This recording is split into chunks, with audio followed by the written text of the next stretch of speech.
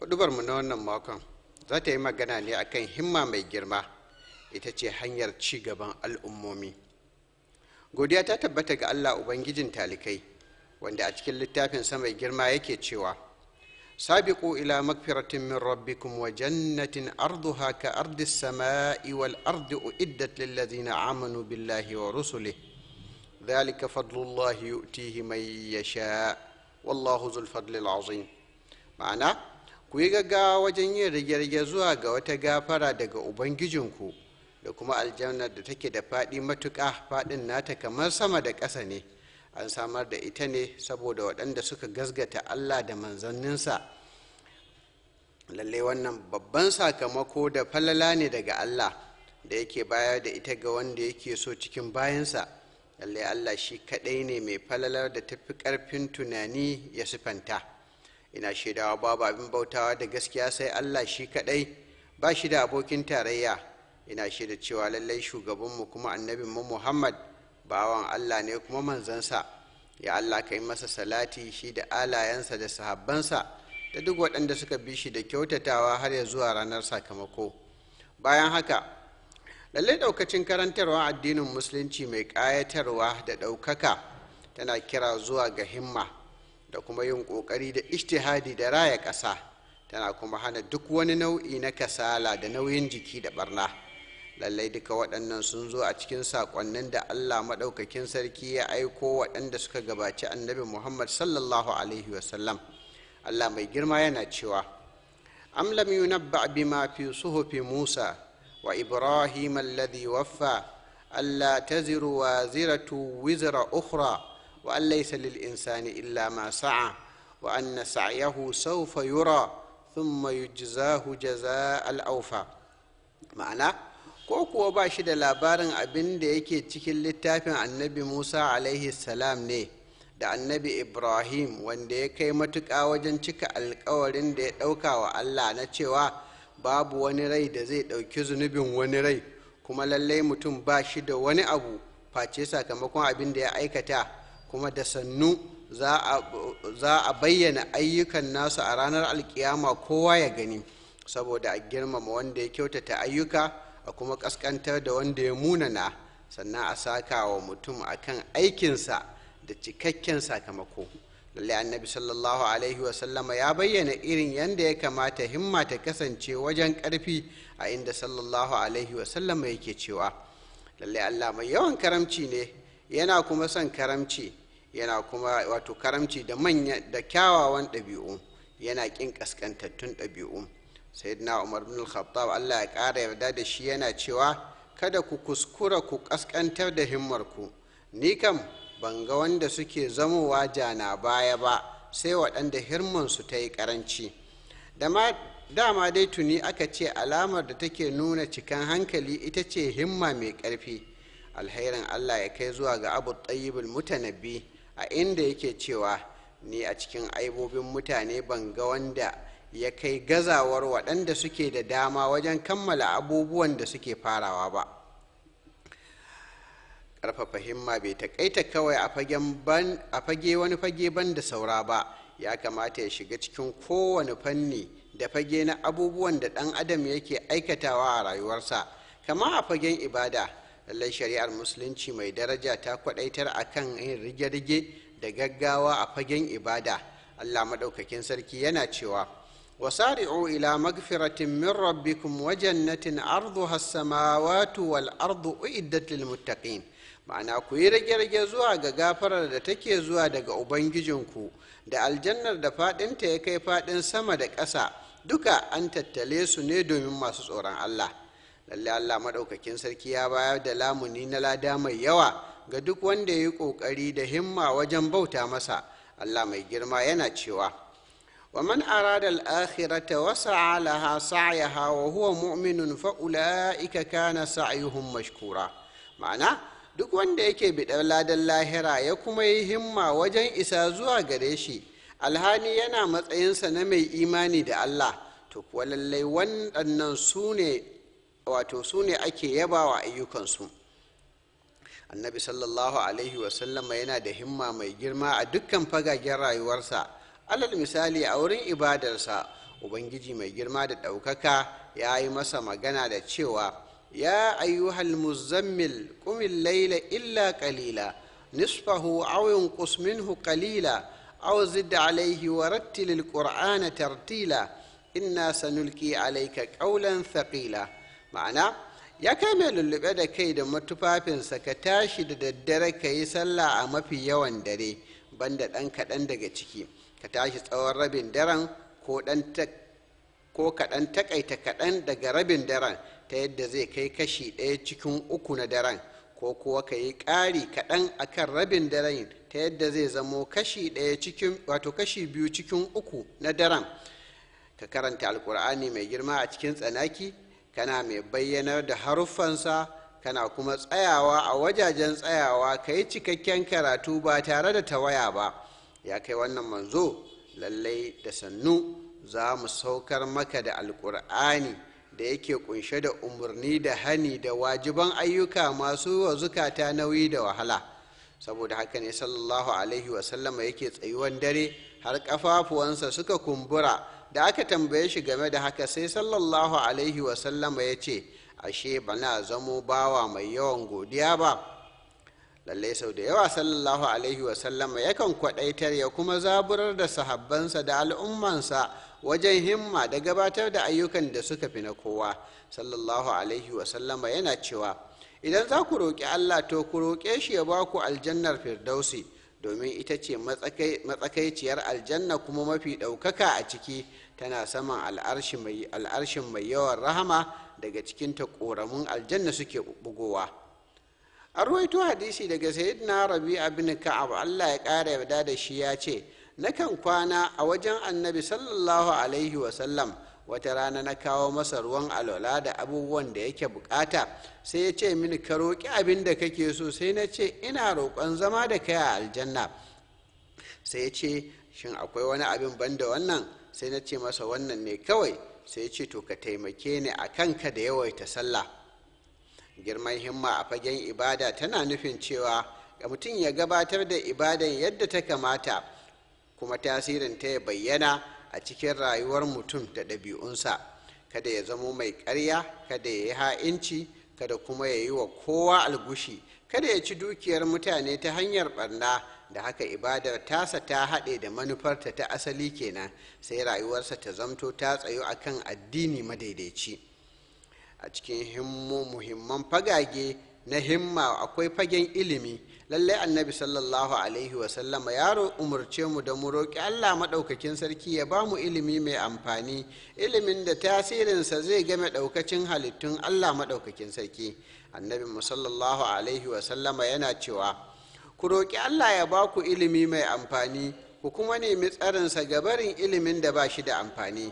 Sau da yawa yakan yi addu'a da cewa ya allah ubangiji ina neman tsarinka ga barin ilimin da ba shi da amfani. Shi ilimi mai amfani shine makami na ainihi da yake sanya ƙasa ta sami ƙarfi da kuma shine al'umma suke ci gaba. Babu wata al'umma da ta sami ɗaukaka da ci gaba sai da ta mallaki ilimi. Kamar yadda babu wata al'umma da ta samu ci baya face kasala a fagen neman ilimi ne ya mayar da ita zuwa ga jana baya. Lallai sahabbai da tabi'ai allah ya ƙara yarda da su suna ƙololuwar himma a fagen neman ilimi. Ga sayyidina abu huraira nan allah ya ƙara yarda da shi mutum ne mai girman himma a fagen neman hadisan sallallahu alaihi wasallam yakan ce ni dai kam noma gonaki da saye da sayarwa a kasuwanci ba su shagaltar da ni ga barin manzan allah sallallahu alaihi wasallama ba. Kawai dai nakan nemi manzan allah sallallahu alaihi wasallama ya sanar da ni ilimi. Sayyidina abdullah ibn umar allah ya ƙara yarda da shi yakan ce ya abu huraira kai fa kafi lizimta kafi mu lizimtar a manzan allah sallallahu alaihi wasallam ka kuma fi mu sanin hadisansa. Sayyidina abdullah ibn abbas allah ya ƙara yarda da shi ya ce nakan ji labarin cewa akwai wani hadisi a wurin wani mutum na tashi na tafi wurinsa in tarar yana barcin ƙailula sai in yi matashi da mayafina a ƙofar gidansa iska ta yi ta buɗa mini ƙura a fuskata. Har dai ya fito ya ganni ya ce ya baffan manzan Allah sallallahu alaihi wasallam me yake tafe da kai? Mene yasa baka aiko in zo wurinka ba? Sai ya ce a'a ni ne ya fi kamata in zo wurinka. Sai in tambaye shi game da hadisin da na zo nema. Sayyidina ismail ibn yahaya ya ce na ji imamu shafi ya allah ya ƙara masa rahama yana cewa na haddace alƙur'ani lokacin ina da shekaru bakwai na kuma haddace littafin muwatta lokacin ina da shekaru goma. Haka ma imamu ahmad ibn hanbal allah ya ƙara masa rahama ya haddace hadisai miliyan ɗaya. Haka ma an ce imamun nawawi yakan gabatar da darussa goma sha biyu a kowace rana. Kamar yadda tsofaffin malamanmu suka bayar da himma wajen ɗaukaka amanar ilimi wato a dukkan fagagensa haka ma suka isar da shi zuwa ga mutanen da za su zo bayansu kamar yadda ya kamata saboda neman yardan allah maɗaukakin sarki da kuma amfanar da bil'adama. Saboda haka ne sunayensu da himmominsu suka wanzu a ƙwaƙwalwan tarihi. Dama can allah maɗaukakin sarki yana cewa fa amma zabadu fa yazhabu jufa'a wa amma ma yanfa'un nasa fa yamkuthu fil ard ma'ana shi kuwa kumfa ai haka yake tafiya a iska abin da zai amfani mutane kuma sai ya zauna a ƙasa haka ma a cikin fagagen himma akwai aiki lallai shari'ar musulunci ta girmama sha'anin aiki da ɗaukaka matsayinsa a inda har alkur'ani mai girma ya haɗa tsakanin ibada da aiki ya sanya suka zamo a gwame da juna allah mai maɗaukakin sarki yana cewa فإذا قضيت الصلاة فانتشروا في الأرض وابتغوا من فضل الله واذكروا الله كثيرا لعلكم تفلحون ma'ana idan kun gabatar da sallah to ku ba zama a bayan ƙasa saboda maslahohinku ku nemi falalar Allah ku yawaita ambatan Allah a zuci da baki ko za ku sami babban rabo na alhairi a duniya da lahira lallai Allah maɗaukakin sarki ya yi wa duk wanda ya kyautata aikinsa alkawari na samun kyakkyawar rayuwa a duniya da kuma dawwammamiyar ni'ima a lahira. Mai girma da ɗaukaka yana cewa man amila salihan min zakarin aw unsa wa huwa mu'minun falanuhiyannahu hayatan tayyiba wa lanajziyannahum ajrahum bi ahsani ma kanu ya'malun. Ma'ana wanda duk ya aikata ayyuka na gari cikin maza da mata alhali yana da cikakken imani to kuwa tabbas za mu raya shi rayuwa mai matuƙar kyau. Kuma tabbas za mu saka masa da ladan da ya fi abin da suke aikatawa kyau. Haka ma allah maɗaukakin sarki yana cewa innal ladina amanu wa amilu salihati kanat lahum jannatul firdausi nuzula. Ma'ana lallai waɗanda suka yi imani da allah suka kuma aikata ayyuka na gari suna da mazaunai a cikin gidan aljannar firdausi. Babu abin da ya fi bayyana matsayin aiki kamar kasancewar ɗaukacin annabawa alaihimussalam dukansu suna da ayyukansu.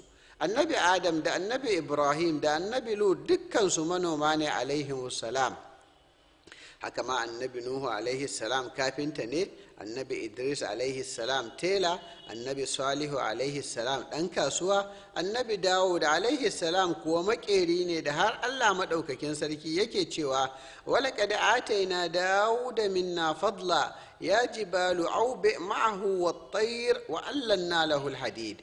I'mal sabighatin wa qaddir fi sard in wa'lamu wa'malu salihan inni bima ta'maluna basir ma'ana lallewa mun baiwa annabi dawud alaihi salam wata falala daga wurinmu ta hanyar bashi hikima da littafi sai muka ce ya ku duwatsu ku rinka maimaita tasbihinsa a duk sanda yake yi mun kuma hore masa tsuntsaye da suke amsa tasbi wato tsarkake allan da yake yi mun kuma sanya ƙarfe ya yi taushi a hannunsa yana sarrafa shi yadda yake so. Mun yi masa wahayin ya kera silaku masu yawa masu yalwa da za su bayar da kariya ga barin hare-haren makiya ya kuma kyautata saƙa su ta hanyar shigar da ƙarfen cikin hancunan juna sai kuma muka umarce shi da shi da jama'ansa da cewa ku sana'anta abubuwan da za su amfane ku da ma wasunku a fagen alkhairi da gyara. Lallai ina da cikakkiyar masaniya da duk abubuwan da kuke aikatawa babu wani abin da zai ɓuya mini daga ciki. Lallai shi ɗan adam yana samun matsayi da daraja ne ta hanyar abin da ya fi ƙwarewa a kansa kuma ya kuma fi kyautata shi. Lallai aiki ya fi roƙe-roƙe nesa ba kusa ba. Manzan allah sallallahu alaihi wasallama yana cewa mutum ya yi icce ya ɗauka a bayansa ya fi masa alheri akan ya roƙi wani da zai ba shi ko ya hana shi. Ba wai kawai kowane irin aiki ake buƙata ba a'a abin da ake buƙata shine a aikata aikin cikin kyautatawa. Annabi musallallahu alaihi wasallama yana cewa lallai allah yana son idan wani daga cikinku zai yi aiki to ya kyautata wannan aiki. Sallallahu alaihi wasallama a koda yaushe yana so ya ga kowa yana da aikin yi mai kyau da zai amfani kansa ya kuma amfani waninsa. Manzon allah sallallahu alaihi wasallama yana cewa wajibi ne kowane musulmi ya yi sadaka sai aka ce idan bai sami abin da zai yi sadakar ba fa sai ya ce to ya yi aiki da hannunsa ya sami abin da zai amfani kansa sannan kuma ya yi sadaka. Sai aka ce idan bai da ikon yin aikin fa sai ya ce to ya taimaki wanda buƙata ta tilasta masa. Sai aka ce idan bai samu yin hakan ba fa sai ya ce to ya bayar da umarni da aikata alhairi da adalci. Sai aka ce idan bai yi hakan ba fa sai ya ce ya kame ga barin aikata sharri domin hakan ma sadaka ne a gare shi. A nan ya kwadaitar da wanda ya gaza wajen yin aiki da ya kame cutarwansa ga barin mutane inda hakan ma kansa aiki ne da za a sami lada a kansa saboda ya tsayartar da mutane daga barin sharrinsa da kuma cutarwansa. A cikin mafiya girman himmomi akwai himma wajen hidimtawa al'umma da taimakon masu rauni da masu neman taimako da biya wa mabukata bukatunsu da saurin kai tallafi da taimako. Lalle wani mutum ya zo wurin annabi sallallahu alaihi wasallama sai ya ce ya manzan allah wane mutum ne ya fi wato allah maɗaukakin sarki ya fi sonsa kuma wane aiki ne allah maɗaukakin sarki ya fi so? Sai sallallahu alaihi wasallama ya ce lalle mutumin da allah maɗaukakin sarki ya fi sonsa shine wanda ya fi amfanar mutane kuma mafi alheri a cikin mu a wurin allah maɗaukakin sarki shine farin cikin da za ka shigar a cikin zuciyar musulmi ko ka yaye masa damuwa ko ka biya masa bashin da ake bin shi ko ka kori yunwar da take damunsa na rantse da allah in tafi in biya wa ɗan uwana wata buƙata ta sa ya fi alheri akan in yi itikafi a wannan masallacin yana nufin masallacin madina na tsawon wata ɗaya. Duk wanda ya tafi tare da ɗan uwansa akan wata buƙata ta sa har buƙatar ta biya to kuwa lallai zai tabbatar da digadigansa allah maɗaukakin sarki zai tabbatar da digadigansa a ranar da ƙafafuwa suke zamewa. Wannan kenan ina nema wa kaina da ku gafara daga allah maɗaukakin sarki. Godiya ta tabbata ga allah ubangijin talikai tsira da aminci su tabbata ga shugabanmu annabi muhammad da alayensa da sahabbansa da duk waɗanda suka bi shi da kyautatawa har ya zuwa ranar sakamako. Ya 'yan uwana musulmai lallai a cikin muhimman fagage da ya kamata ɗaukacinmu mu yi rige-rige kuma kowanmu ya zamo mai ƙarfin himma a ciki akwai hidimtawa ƙasa. Lallai hidimtawa ƙasa yana cikin imani. Allah maɗaukakin sarki ya umarce mu da yin rige-rige a fagen alkhairi da amfanarwa da tasirinsa zai koma zuwa ga ƙasa. Allah mai girma da ɗaukaka yana cewa فاستبقوا الخيرات إلى الله مرجعكم جميعا فينبئكم بما كنتم فيه تختلفون. ma'ana ku yi rige وجاء wajen aikata alhairi wurin Allah gaba ɗayan ku za ku koma ya ba ku labarin dukkan abubuwan da kuka yi saɓani a kansu lallai Allah mai girma da ɗaukaka ya yabi bayansa da suke rige-rige wajen bayar da alhairai ga mutane mai girma da ɗaukaka ya bayyana cewa irin wannan alhairin yana amfanar da mai yinsa a duniya da lahira Allah mai girma yana cewa innahum kanu yusari'una fil khairati wa yad'unana ragaban wa rahaba wa kanu lana khashi'in. Ma'ana lallai sun kasance suna rige-rige wajen aikata alhairai suna roƙonmu cikin wani yanayi na fata da kuma tsoro lallai suna matuƙar tsoronmu. Da girman himma da kuma kwaɗayi wajen amfanar da mutane da kuma cikakken amincewa da falalar allah maɗaukakin sarki da dacewarsa ne ya sanya haka. Haka ma a cikin manyan himmomi akwai hidimtawa wato himma wajen gina ƙasa da kuma ɗaukan nauyin zamantakewa da rige-rige wajen ayyukan biyayya da ɗa'a ta hanyoyin gyara masallatai da gina makarantu da asibitoci da samar da magunguna ga marasa lafiya. Duka waɗannan suna cikin sadakokin da ladansu ba sa yankewa. Annabi musallallahu alaihi wasallama yana cewa ladan abubuwa bakwai suna bin bawa har bayan wafatinsa yana cikin kabari wanda ya karantar da ilimi ko ya samar da gulabe daga kogi ko ya haƙa rijiya ko kuma ya dasa dabino ko ya gina masallaci ko ya gadar da alkur'ani ko kuma ya bai yaron da yake nema masa gafara bayan rasuwarsa. Mene ya kai girman a rinka samun rige-rige a tsakaninmu wajen hidimtawa ƙasar da take ɗauke da mu ƙasar da dukkanmu muke cin alhairanta? Mu yi rige-rige wajen samar da haɗin kai da wayewa da tausayin juna. Mu gabatar da taimako ma kowa da kowa. Ƙasa dai tamu ce gaba ɗayanmu za ta ci gaba da zama a matsayin tamu kuma da mu ne za ta tabbata. Lallai iko da ƙarfi da wasu suke da shi ba su kai namu ba ba kuma su ɗara mu ba. Mu fa al'umma ce da take da tarihin ci gaba da asali. Dole ne mu san cewa yin zarra a komai da kuma kutsawa cikin abubuwa masu wahalhalu da rashin ganin kai su ne hanyoyi da za mu bi. Shi dama abubuwa masu girma sun rataye ne da abubuwan ƙi. Ba a isa zuwa ga maslaha da alhairi sai ta hanyar ƙoƙari da kuma juriya. Alherin allah ya kai zuwa ga abu tamam a inda yake cewa na duba babban hutu amma ban hango shi a ko'ina ba sai a gadar wahalhalu. Ya allah ubangiji ka azauta mu da himma mai girma da za ta kai mu zuwa ga ƙololuwa da falala da ci gaba da ɗaukaka a cikin dukkan abubuwan da za su amfane mu a duniya da lahira.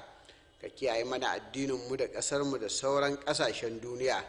Ka yi salati da aminci ga shugabanmu annabi muhammad da alayensa da sahabbansa da duk waɗanda suka bi shi da kyautatawa har ya zuwa ranar sakamako.